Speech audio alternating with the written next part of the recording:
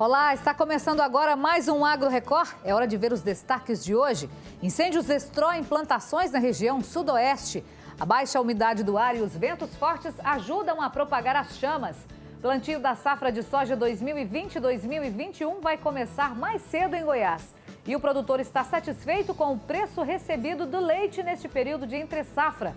Tudo isso e muito mais agora no Agro Record.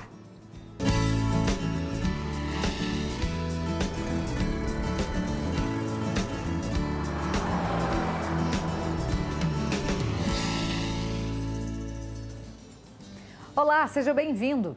Cultivar o milho de segunda safra tem sido uma opção cada vez mais praticada e atrativa para o produtor. Mas plantar em uma época de redução de chuvas, luminosidade e temperatura são riscos para o desenvolvimento da cultura.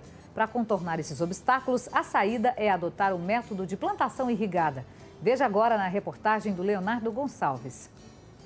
Essa imagem não é comum nesta época do ano, em que não tem chuva, mas quando existe irrigação, lá está o maquinário semeando. E o que está sendo plantado é milho verde, mais conhecido como milho para pamonha.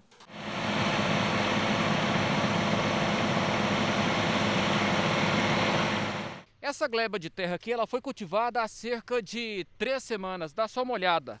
O milho nasceu, tá verdinho, não parece, mas essa área é irrigada. A gente vê que não tem pivô central.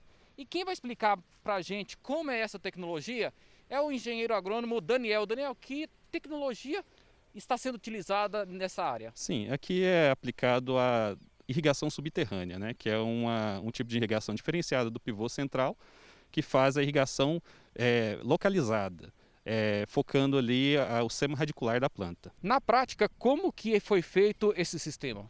Bom, aqui foi feito escavações e colocado um duto principal, né?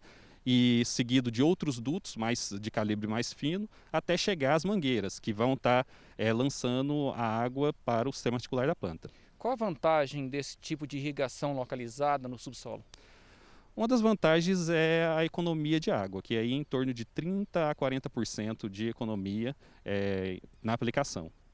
Ela é uma tecnologia mais cara do que o, o pivô central convencional, né? Sim, sem dúvida. Ela é mais cara, mas a vantagem acaba sendo a economia que ela vai ter de água. Né? Para a gente explicar melhor como funciona esse sistema de irrigação, o Daniel vai contar para a gente por quê.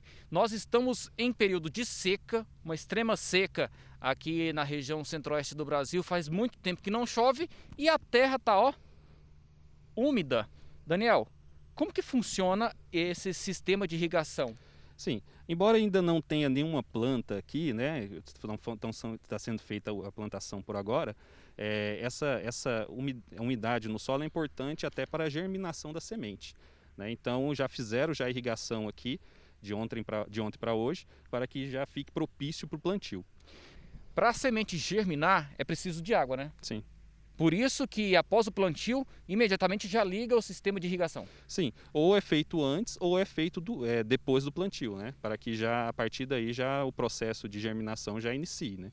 E essa tecnologia é tão interessante, gente, que essa área de 51 hectares, ela foi dividida em seis glebas, ou seja, dá para irrigar partes da terra, então? Dá para irrigar partes da terra é, por glebas, né? Define ali, faz um, um, parcelamento da terra e aí vai irrigando onde é a primeira a necessidade. Até porque a gente pode ver aqui que tem plantas já em estágio diferente de vegetação.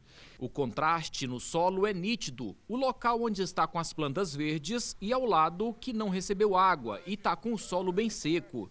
E olha que a área tem 51 hectares. Com esse sistema, o produtor consegue planejar a produção.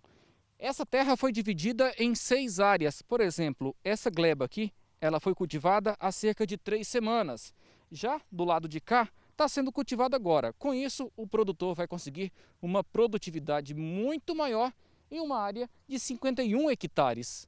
E pensando no meio ambiente, uma vantagem deste tipo de irrigação localizada é a economia de água. Segundo o engenheiro agrônomo, a redução no consumo de água é de 30 a 40% em comparação com o pivô central. É um sistema caro, já que a tecnologia é israelense e está debaixo da terra. O que desperta curiosidade é que, como os dutos estão debaixo da terra, se não entope muito. Como que é feito essa manutenção e evitar que os dutos, as mangueiras, elas fiquem entupidas? A cada final de ciclo é feita a manutenção da, da, da rede, né, usando um produto específico, para que seja feito o desentupimento ali da, do, do, dos locais onde faz o lançamento de água. Diz que raiz é inteligente, a raiz da planta, porque ela vai em busca de onde está a fonte de água. Ela não vai na mangueira, não vai aonde está saindo água, não? Sim, a tendência da, do sistema radicular da planta é seguir aonde está vindo a água. Por isso esse sistema tem um sistema de membrana que evita com que haja um entupimento durante o, a, a irrigação. Uma vantagem em ter irrigação direcionada é a possibilidade de fazer três safras ao ano. O sistema possibilita também a fertirrigação. Essa é uma das finalidades, é uma das vantagens maiores da irrigação, porque nesse período agora, é, to, os que fazem, os, os, produtores que fazem aí o sequeiro, né, que plantam em regime de sequeiro, não estão plantando deve estar finalizando a colheita. Aqui na propriedade a, a vantagem é que agora pode se plantar nesse momento sem chuva, porque a irrigação vai suprir é, a necessidade da planta. E por falar nisso, o IBGE divulgou que a produção goiana de milho safrinha caiu 6%. A colheita já está no fim e, segundo especialistas, essa redução foi causada pelo atraso no plantio da soja. A produtividade foi de mais de 9 milhões de toneladas de milho até agora. O valor é menor que o registrado na safra em 2019, mais de 10 milhões de toneladas de milho. Ao contrário do que se imagina, a diminuição da produção não acompanha o aumento de área da cultura do grão. Em maio, o levantamento revelou que foram cultivados 1 milhão 480 mil hectares de milho em Goiás. Já na safra passada, a área total foi de 1 milhão 420 mil hectares. Isso representa aumento de 4,6% na área cultivada. E para ter números tão expressivos, a irrigação tem um papel fundamental na hora de fortalecer ainda mais o agro goiano. Já que estamos falando de lavoura em época de seca, de onde vem a água que molha a terra? A água que irriga a plantação vem desta represa. E para saber como funciona o sistema de irrigação, nós vamos conhecer agora a casa de máquinas. Olha só, as bombas estão ligadas, ou seja, neste momento a área está sendo irrigada. E tudo aqui é automatizado. O produtor consegue controlar qual gleba está sendo irrigada. Aqui é tudo automatizado, como a gente vê. E pelo mapa, o produtor consegue definir então se quer que a área 1, a gleba 1 seja irrigada, a 2, a 3, toda a área ela é mapeada e é daqui da casa de máquinas que tudo é controlado, até a quantidade de água que vai lá para a roça. Assim como o pivô central, é possível fazer a fertirrigação. E a vantagem é porque, como ela está em contato mais próximo do sistema reticular da planta, a absorção até melhor do, dos nutrientes, né, da, do, do, do adubo que vai ser, vai ser aplicado. Ou seja, quando você coloca o fertilizante, então, já para ser é, espalhado no, perto do, do, do, da raiz da planta, a absorção vai ser maior e o resultado pode ser na produtividade, é na produtividade. Né? Sim, aliado com a quantidade correta de umidade e o fertilizante, aumenta mais a produtividade. Nosso produtor sempre se reinventando, né? O nosso mito ou verdade de hoje é sobre banana. A banana é uma das frutas mais consumidas no mundo. Ela é nutritiva, contém fibras e oxidantes. E nós vamos para o nosso mito ou verdade de hoje. A nossa pergunta é: será que banana ajuda a perder peso? Você já se negou a comer uma banana ali depois do almoço? Ou tem muita gente que gosta de comer banana junto com a comida, né? Só por medo de engordar? Você vai saber daqui a pouco. Eu conto já já. Banana ajuda ou não a perder peso, hein? Agora nós vamos conhecer uma plantação orgânica de morangos. Os produtores investem em três variedades da fruta que desenvolve melhor no frio. Há seis anos, seu Peter cultiva produtos orgânicos, mas só agora, em 2020, ele decidiu investir no morango. Morango orgânico foi um sonho antigo nosso. Nós somos produtores orgânicos certificados há vários anos e temos principalmente hortaliças, mas também frutas. Os nossos pêssegos orgânicos uh, são sempre bem uh, doces. A propriedade fica na área rural de Jambeiro. As 4 mil mudas foram plantadas em maio e começaram a dar frutos agora. Aqui são três variedades: duas espanholas, San Andréas e Camino Real, e uma brasileira, RPA. A expectativa é colher uma tonelada de morango até dezembro. São variedades super produtivas e super adocicadas. Então, cada, fru, cada variedade ela tem um brix diferente é, de, de, vamos supor, de um sabor, de um sabor diferenciado. Normalmente lá no supermercado, na prateleira, a gente encontra o morango já bem vermelhinho, bem maduro, mas o ponto de colheita dele é um pouco antes, como os técnicos estavam me explicando. A gente vai mostrar aqui, olha, um morango que já está no ponto para ser colhido, que é esse aqui, olha. A gente percebe que a ponta dele é bem vermelhinha, mas aqui em cima ainda está mais verde. Colhendo dessa maneira, eles garantem um produto com mais qualidade para o cliente, mais durabilidade, né, Brena? Isso, exatamente. A gente colhe ele um pouco verde aqui para dar tempo de chegar no cliente com qualidade. Ele ainda está durinho e está doce. Quando a gente colhe ele inteiro vermelho, até o transporte, pode fazer com que ele chegue amassado ou danificado e isso não quer para o nosso cliente. Uhum. E qual é o tempo de geladeira desse morango? Esse morango no teste está durando oito dias na geladeira. Quer dizer, é um tempo considerado bom para uma fruta que é uma fruta delicada. Exatamente. Dá uhum. tempo da gente atender todos os clientes e ainda chega com qualidade. E essa fruta aqui que a Brena está segurando é da variedade PRA, que é aquela variedade brasileira que surpreendeu vocês. Exatamente, é o primeiro ano de plantio dela e tem feito grandes surpresas na, na, no plantio, porque ela está robusta, porque os frutos estão grandes, os frutos estão é, bem maduros e estão bem doces. E o interessante que você estava me explicando também é que a muda dessa variedade para vocês aqui chegou um pouquinho menor.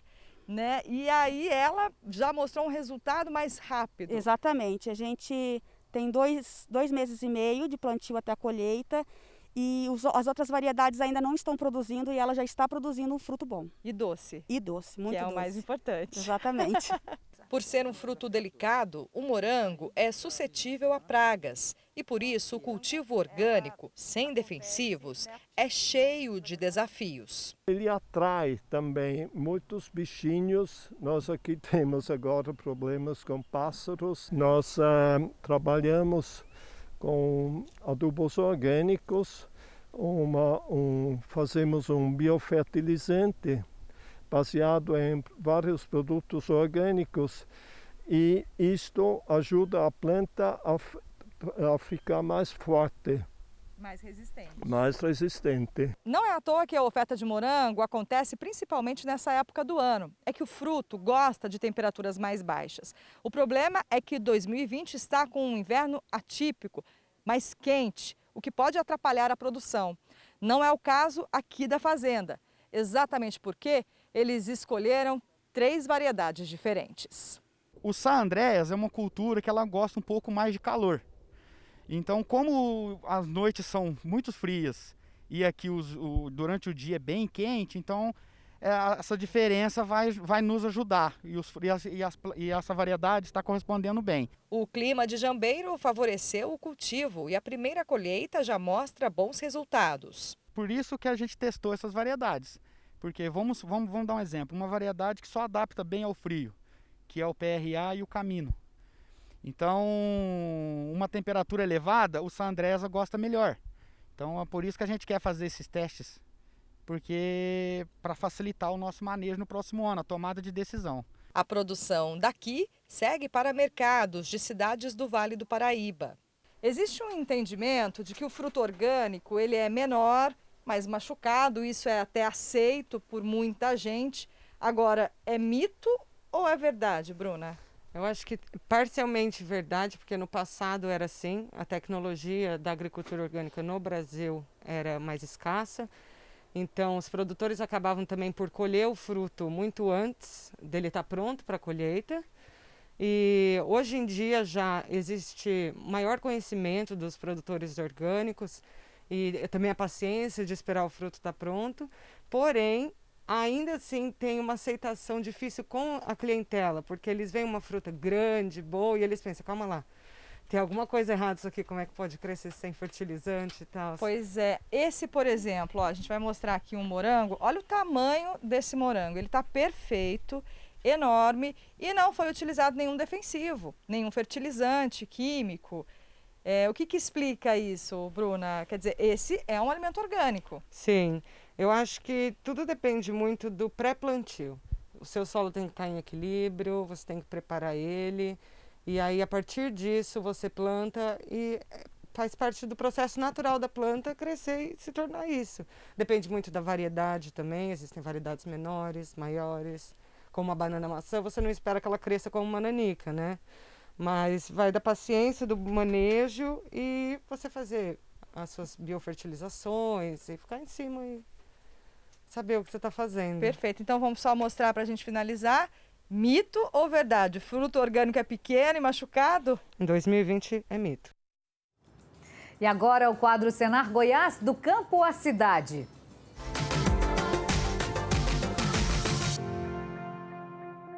Hoje nós vamos conhecer a Vânia Maria. Ela é de Quirinópolis, que criou uma geleia diferenciada à base de pectina das frutas. É um gel natural que substitui a gelatina, totalmente artesanal. A receita que faz sucesso foi desenvolvida com os conhecimentos adquiridos através dos cursos do Senar Goiás. Oi, Vânia, tem geleia de tudo e quanto é sabor, né? Eu tô vendo que tem pitaia, alecrim com gengibre e até cachaça com rapadura. Como é que você chegou nessas receitas? Conta pra gente. Oi, Juliana, eu aprendi a fazer as geleias, os doces cristalizados, doces é, em compotas, pelo Senar. E através disso eu aprendi a é, extrair a pequitina da maçã, que eu uso na minha geleia, a pequitina natural. Que eu uso muito o do maracujá, mas 90% é da maçã. Porque a maçã, é, ela tem uma pequitina assim que desliza, a geleia fica mais suave, ela fica transparente, ela não empelota no passar nas torradas. Muita gente fala, Vânia, por que sua geleia não, não, não desmancha, não, não, desmancha o pão, não empelota o pão? É porque é feito da pectina da maçã. Eu uso a pectina da maçã desde sempre e não tenho intenção de deixar. Gente, Vânia, eu vi que você tem aí mais de 50 sabores. Isso deve ter melhorado bem a sua renda, né? São sim, são mais de 50 sabores, melhorou, melhorou bastante minha renda, graças a Deus. A gente trabalha muito, mas é, é compensa a gente lutar. É eu e meu esposo, e ele que somos uma parceria, né? A gente trabalha junto, eu faço e ele vende. Então, mas graças a isso tudo também tem o Senar, que eu agradeço muito, sem o Senar eu não teria nada disso. E essa parceria minha do meu esposo é muito boa, porque a gente entrega em vários restaurantes, posto de conveniências, empórios, em Goiânia, em várias cidades aqui do estado de Goiás. A gente só tem a agradecer e agradecer a Deus e o Senar. Pois é, Vânia. E falando em Senar, ele foi essencial, fundamental para você empreender, né? Foi sim. Assim que eu descobri o, o Senar, eu quis muito é, aproveitar todas as, as chances porque desde pequena eu trabalhei muito, já fui babá, fui florista, já vendi ovos, já vendi de porta em porta. Entrei pro Senar, eu fiz, nos cursos do Senar, fiz vários, fiz de, de, de, é, defumação, é, processamento de carne suína, processamento de peixe, derivados do leite, vários tipos de doce e peguei também a, a ideia da geleia, né? E meu sonho é abrir um empório futuramente com todos os produtos que eu já aprendi, que eu já processei, que eu já aprendi pelos cursos do Senar, né, inclusive as geleias. Então, assim, eu só tenho a agradecer ao Senar por tudo que eu sou hoje, com humildade e persistência eu vou conseguir. A gente tem que ser humilde, ter fé. Vá à luta, mas tem que ser humilde. Ai, gente, que lindo, viu, Vânia? Parabéns. E se Deus quiser, você vai realizar seu sonho aí. Continua fazendo os cursos aí do Senar. E olha, gente, dá água na boca. Vânia, manda essa geleia pra gente experimentar, viu? Esse foi o quadro Senar Goiás, do campo à cidade.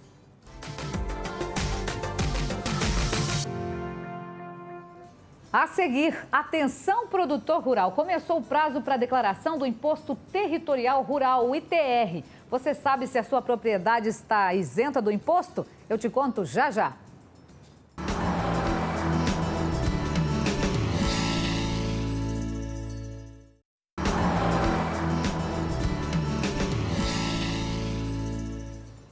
Já estamos de volta com o Agro Record. É sempre um prazer ter a sua companhia. Olha, no bloco passado eu te perguntei se banana ajuda a perder peso. Isso é mito ou é verdade?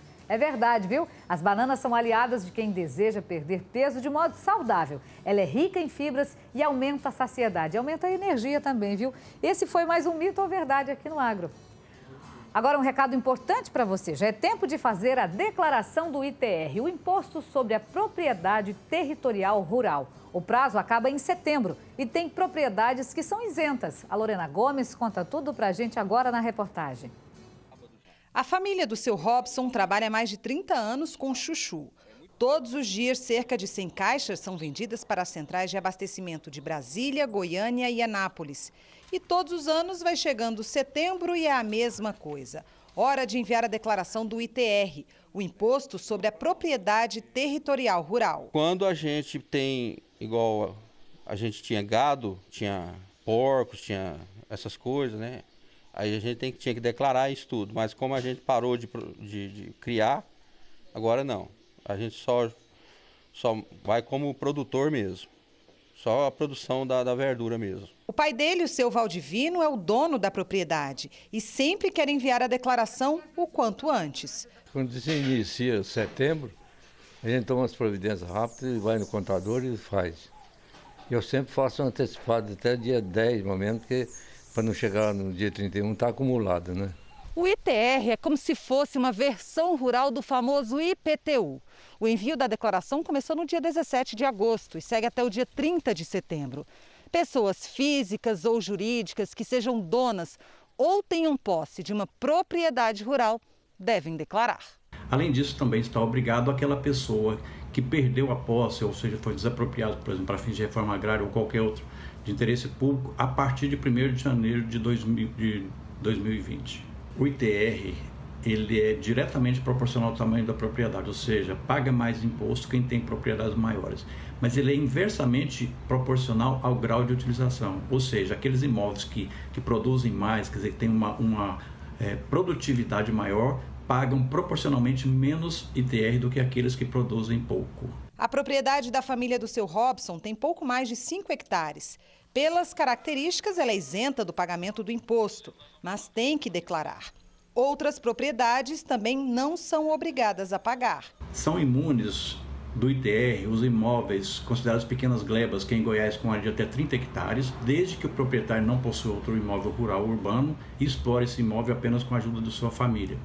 Além disso, são imunes os imóveis pertencentes à União, Estados e municípios, inclusive suas autarquias e fundações, aqueles pertencentes a instituições de educação e assistência social sem fins lucrativos, aos templos partidos políticos e entidades sindicais, desde que a utilização desses imóveis tenha um relacionamento com a atividade fim dessas entidades. Também são isentos do, do pagamento do ITR e também da declaração aqueles imóveis pertencentes a, a comunidades quilombolas e aqueles que são destinados a projetos de assentamentos para fins de reforma agrária.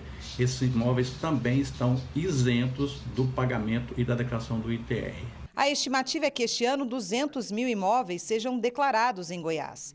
O envio da declaração é semelhante ao do imposto de renda, onde o contribuinte baixa um programa na internet, preenche as informações e envia. O prazo acaba às 11 horas e 59 minutos do dia 30 de setembro.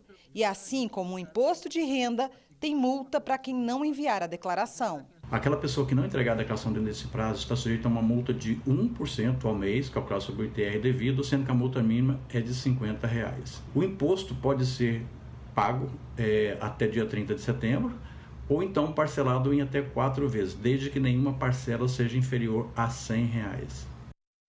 Já que a gente está falando de agro, falando de terra, falando do campo, vamos falar também do café do sítio, o verdadeiro café raiz. E por que raiz? Porque é aquele café que lembra, né? Aquele cafezinho coado na beira do fogão a lenha, na fazenda. E também porque conta com 53 anos de tradição, né? Roda aí o vídeo enquanto eu tomo meu café, aproveitando esse friozinho, fica mais gostoso ainda. É o café do sítio pra te fazer feliz toma todo dia, pede outro e sempre gosta. Sabe esses cafés fraquinhos, sem aroma e sabor pra servir?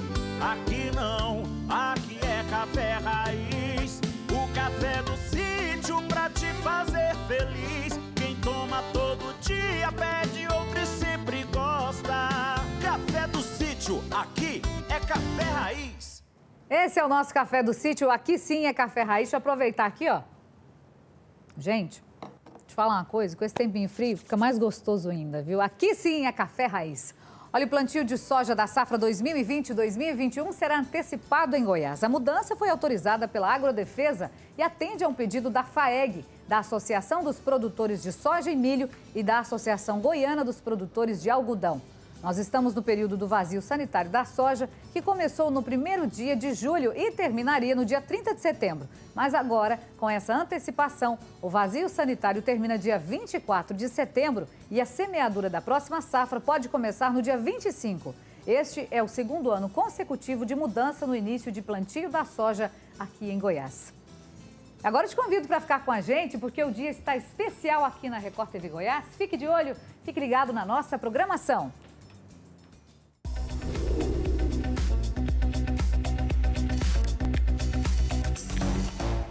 Bom dia para você nesse domingão de sol ligado no Agro Record e nas notícias do campo. Depois de saber de tudo o que acontece no mundo rural, às 11 horas, coladinho no Agro Record, você vai se divertir com Todo Mundo Odeia o Cris.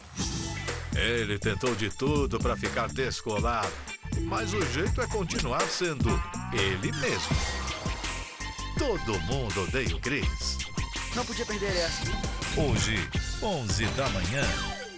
E logo após, é hora de relaxar e se ligar no Cine Maior, com um filmaço daqueles para começar a sua tarde. Nicolas Cage e Eva Mendes vão te deixar de cabeça quente.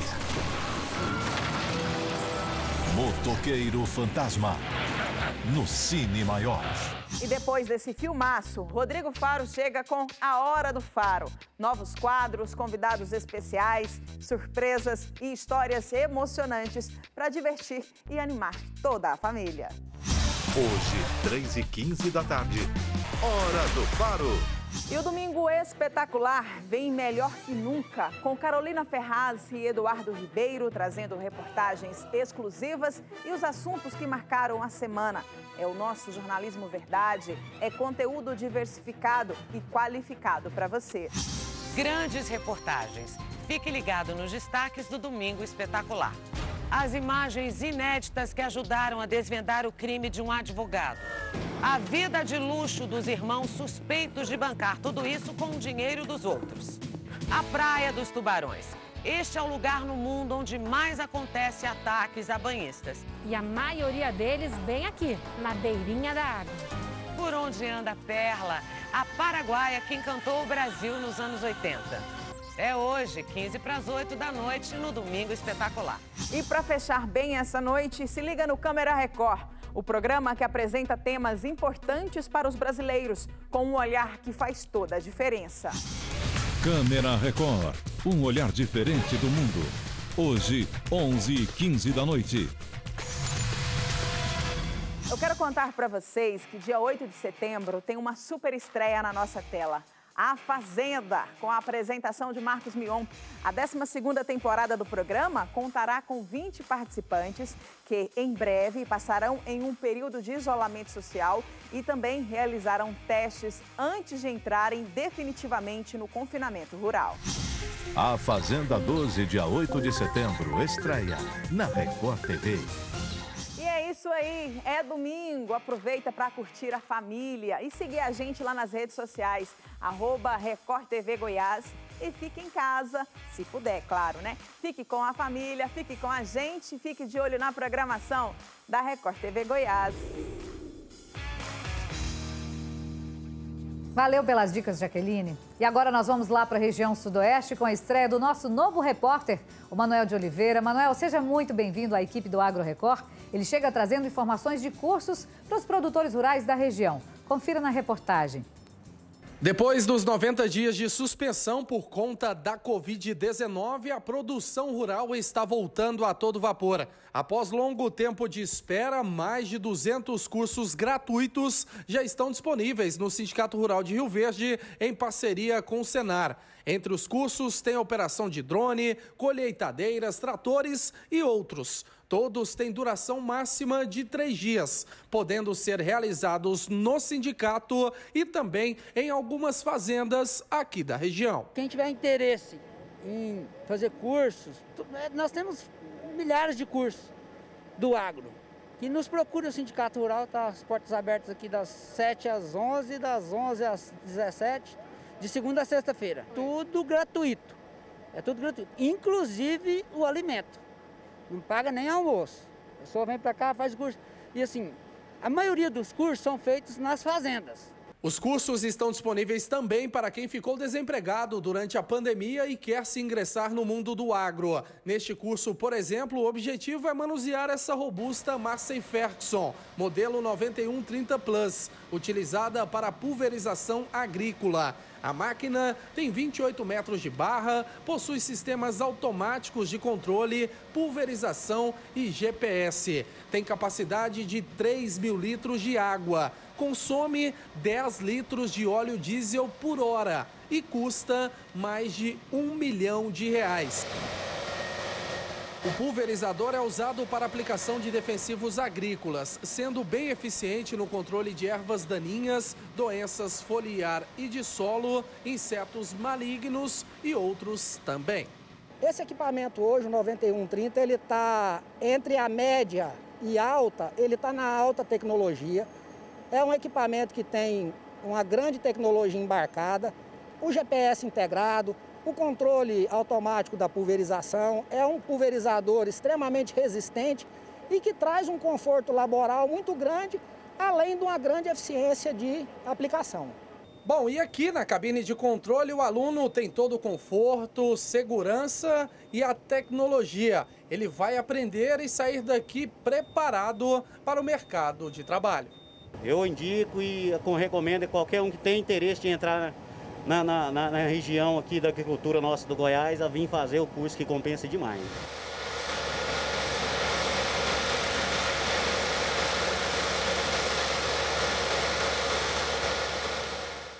E nós recebemos o vídeo de uma colheita de milho lá no assentamento Dom Fernando, em Itaberaí. A gente vai mostrar para você, olha só.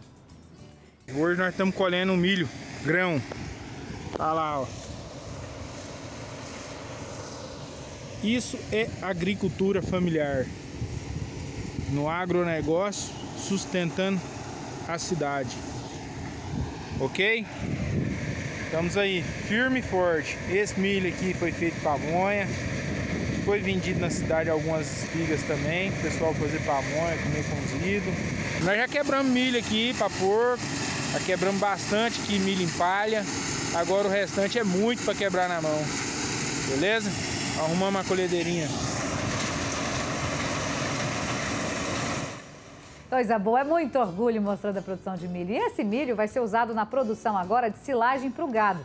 Quem mandou o vídeo foi o José Henrique.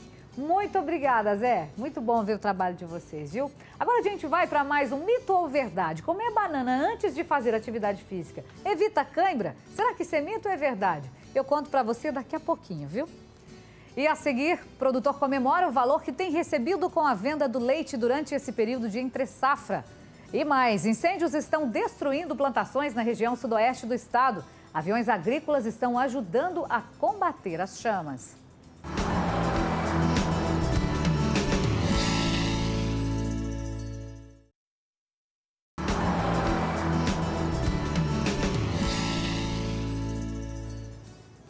Voltamos com o Agro Record. Na região sudoeste de Goiás, os produtores rurais estão sofrendo com a quantidade de queimadas nas lavouras.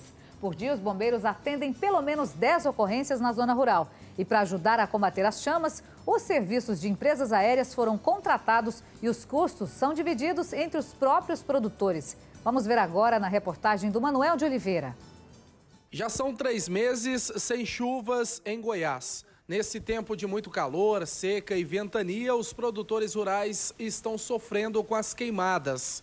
Os incêndios não param de aumentar na região sudoeste de Goiás. Um prejuízo para a saúde e para o bolso.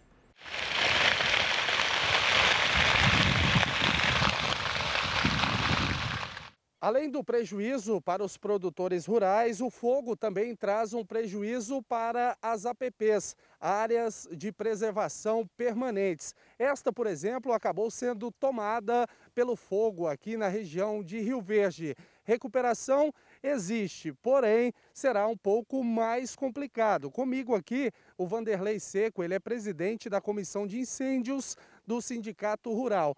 Vanderlei, o que fazer para a gente não ter uma situação como essa? Qual é a precaução? É, atitudes é, são, estão sendo tomadas por, por produtores rurais é, para proteger, além da, da área agricultável e as áreas de preservação permanente. O que a gente está buscando é tentar minimizar esses impactos, principalmente esse impacto ambiental. Eu estou vendo aqui, a gente teve uma plantação aqui acabando sendo prejudicada, né? Foi prejudicada pelo fogo. Vou passar aqui, Rodrigo, por baixo, aqui para a gente mostrar um pouco melhor o que, que aconteceu aqui.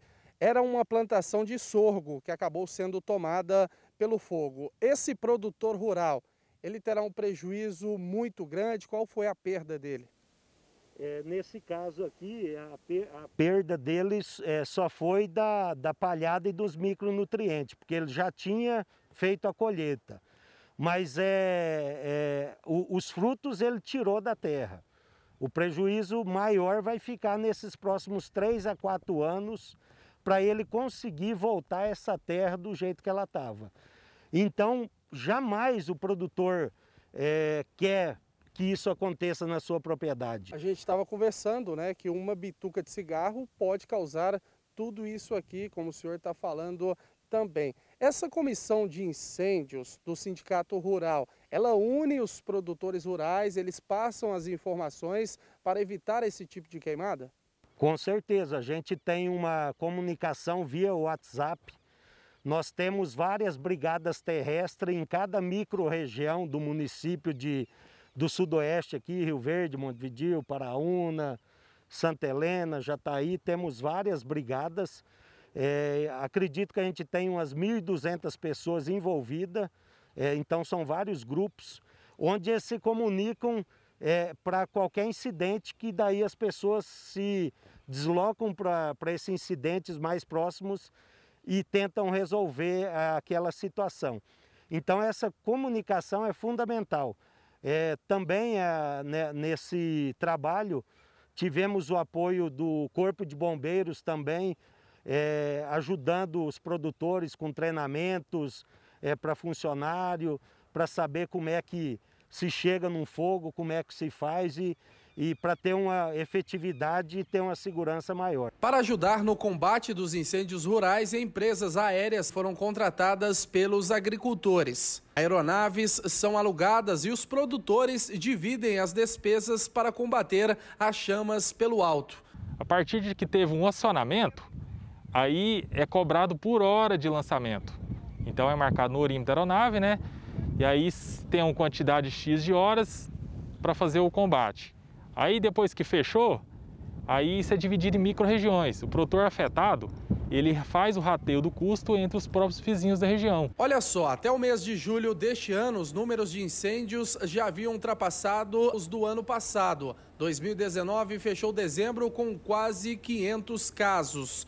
O total de 2020 até o último dia 18 ultrapassou 280 queimadas em todo o estado. O pessoal do Corpo de Bombeiros também está tendo muito trabalho nessa época do ano, época de muito vento e muita seca. Comigo aqui o Tenente Coronel Hamilton para ele trazer um pouco mais sobre os números de ocorrências em relação às queimadas. Quantos chamados são atendidos diariamente? O Corpo de Bombeiros Militar aqui na região sudoeste, baseado em Rio Verde, o 4 Batalhão, nós atendemos em torno de 6 até 10 ocorrências no dia, dependendo da situação, a situação mais crítica. Lembrando que a demanda ela é reprimida muitas das vezes e essa, esse número ele aumenta consideravelmente para até 15, até 20 ocorrências em um dia em que é, é, essas regiões, principalmente na região sudoeste, estão acontecendo os incêndios. O fogo realmente ele ataca e ataca muito. Por exemplo, aqui a gente tem o foco, né? É, já passaram aqui vários caminhões, vários tanques de água e mesmo assim, olha só, a gente vê que o fogo ainda está praticamente aceso. Isso aqui, tenente, pode causar algum tipo de incêndio nesta região que já foi queimada? Exatamente, Manuel. Foi uma observação importante porque esse tipo de situação aqui ele vai gerar uma nova ignição, ele, ele é, ainda está incandescente e a, a gente não acredita até vivenciar uma situação dessa. Uma chama igual essa aqui, uma fagulha pequena, ela pode ser conduzida pelo vento, um vento forte, a umidade relativa muito baixa, pode ser conduzida até quilômetros de distância, atingindo áreas que não foram atingidas. Então, é importante, muito necessário o monitoramento e situações como essa serem verificadas para que não ocorra mais é, é, os incêndios nesses locais. Bora agora dar uma olhada no mercado, ver as nossas cotações da semana. A saca de 60 quilos da soja sendo vendida aqui em Montevidil a 120 reais, em Silvânia R$ 116,50. A variação da semana em Goiás é positiva em 2,80%. A gente confere também agora a arroba do boi. O boi gordo, preço médio semanal, arroba à vista, Corumbá de Goiás, 220 reais. Em Porangatu, 225 reais. Variação da semana aqui é positiva em 1,11%. O preço da carne bovina subiu e muitos criadores estão comemorando, viu? A produção de açúcar em Goiás teve um crescimento de 53,6% da safra 2020-2021. A previsão é que o estado produza 2,7 milhões de toneladas nesta safra, sendo responsável por quase 7% da produção nacional. Já a previsão para a cana-de-açúcar é de mais de 77 milhões de toneladas em Goiás. A produção goiana corresponde a 12% da nacional. Goiás continua sendo o maior produtor de cana do Brasil, ficando atrás apenas de São Paulo. Olha, no bloco passado a gente estava falando de banana no nosso mito ou verdade. A gente estava perguntando o seguinte: será que fazer atividade física só depois de comer banana? Come banana e vai se exercitar. Será que evita cãibra? É mito ou verdade? É mito, gente, olha só. A banana é um alimento rico em vitaminas, mas por si só não pode evitar contrações musculares. Mas é, faz parte da nossa alimentação saudável, né? Olha, nessa época do ano, os custos para manter o rebanho pesam no bolso. A pastagem está seca e o gado precisa ser bem alimentado. Mas mesmo gastando mais, o produtor ainda tem motivo para comemorar. O preço pago pelo litro de leite subiu e está sendo vendido a mais de R$ 2,00.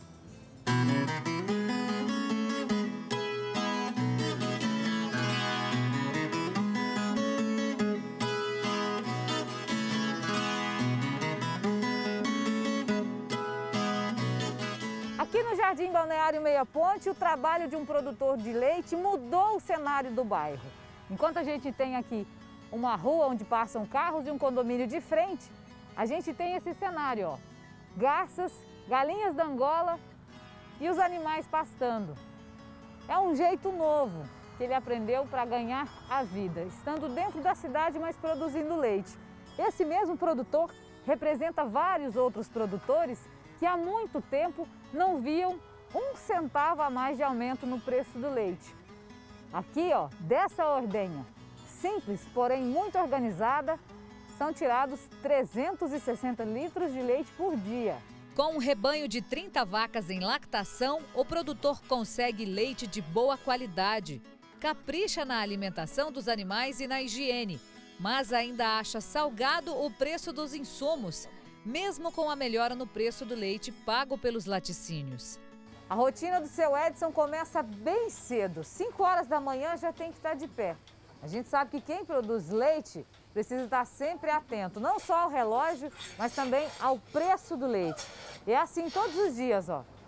Aqui ele já tem um investimento bom, tem a ordenha, e tem que ter a manutenção direitinho, que a gente vê que ele faz também. A primeira coisa que a gente percebeu foi o cuidado do seu Edson quando a gente chegou aqui.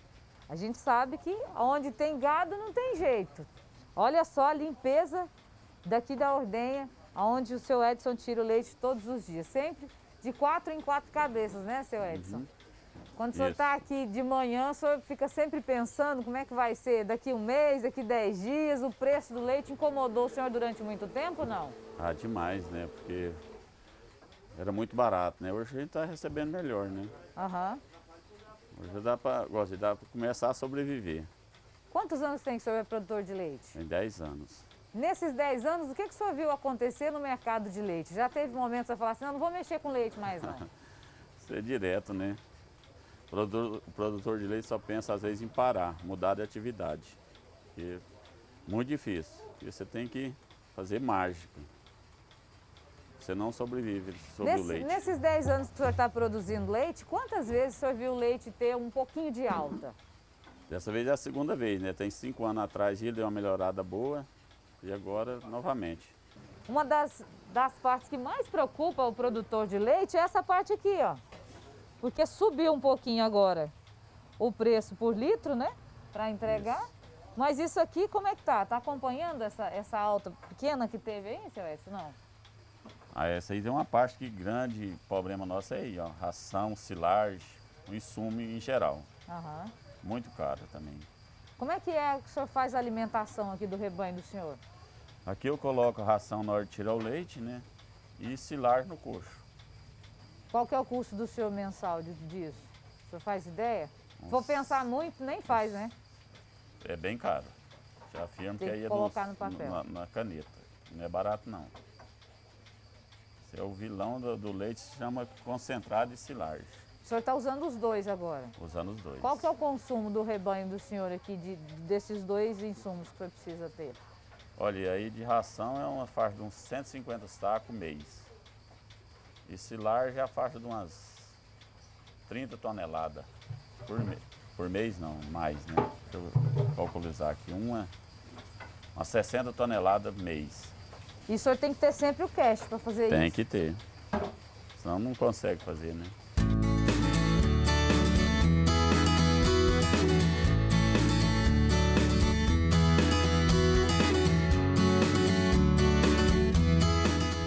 Se faz mesmo, nem leite com qualidade, nem em grande quantidade, sem pensar nos insumos e colocar tudo no papel. Até porque aqui na propriedade onde o seu Edson ele tem a atividade dele com leite, a gente vê que ele tem aqui ó, um lugar para essas vacas pastarem muito pequeno. E nessa época do ano, a gente já olha para o chão e sabe que o produtor de leite vai ter que investir muito mais. Olha só, a gente já está na época da seca. Aqui não adianta, né, seu Edson, senhor tentar falar que vai deixar a vaca pastar aqui que vai produzir Não. leite. Hoje em dia não tem mais isso, né? Não. Se deixar aí vai morrer, né? Morre de fome, porque se não tiver silagem, precisa da silagem para produzir. E se o senhor pensar aqui, por exemplo, ah, vou fazer diferente, vou fazer um pasto irrigado aqui, também não compensa para o senhor, né? Eu acho que não. Eu nunca fiz, mas acho que ainda vai subir mais ainda, né? Aham. Acho que a silagem ainda fica mais em conta do que fazer uma irrigação, né? Devido também à água, né? Porque a água aqui a gente quase não tem, né? Acho que ainda vai ficar mais difícil ainda, né? E aqui o seu Edson tem um agravante, ele está muito dentro da cidade. Eu vou mostrar para você aqui, ó. A gente está no pasto aqui onde fica o rebanho dele, mas logo ali de frente, ó, já tem até um condomínio.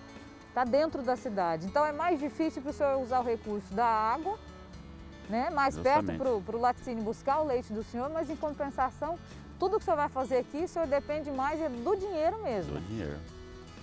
Porque as vacas é tudo no coxo, porque é pequeno, né? Aí vai só aumentando o custo, cada dia mais. Segundo o Centro de Estudos Avançados em Economia Aplicada, o CPEA, o preço do leite ao produtor subiu 16% em julho e atingiu recorde para o mês, e 25% frente ao mesmo período do ano passado. A média do preço no Brasil chegou a R$ 1,75 o litro. É o maior valor registrado desde 2004. Para o seu Edson, ainda ficou um pouco melhor, conseguindo vender até R$ 2,10 o litro.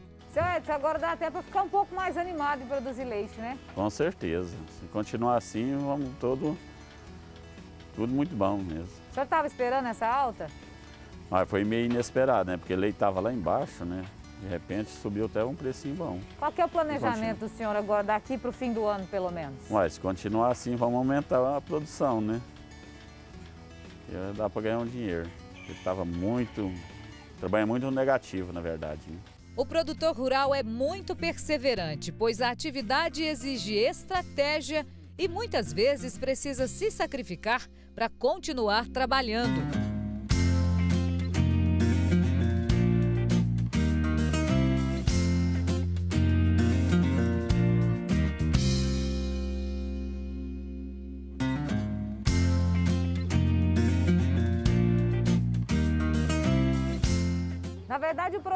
Leite, ele precisa fazer um malabarismo para poder continuar na atividade. Uma das tristezas do seu Edson aqui, que ele estava contando para a gente, é que de vez em quando ele tem que vender um dos bezerros. A bezerrada diminui para poder ajudar nos insumos para poder manter as vacas ali produzindo leite.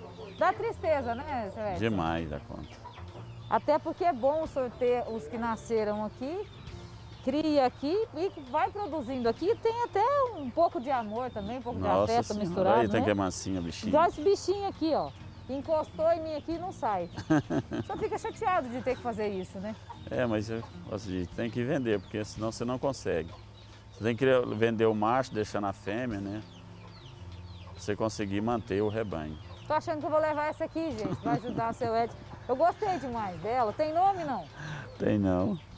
É um amor que o produtor rural tem, o produtor de leite tem, e é uma fé muito grande. Porque a gente comemora hoje um pouquinho só de alta no preço do leite, mas não sabe até quando vai ficar assim, né? Justamente. Ele não sabe nem o que recebe, né? Esse mês recebe um, um preço, o mês que vem laticínio abaixa, você não tem controle disso aí.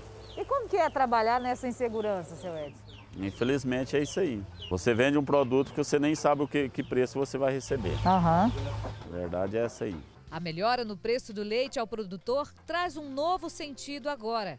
E com certeza é motivo para o seu Edson comemorar.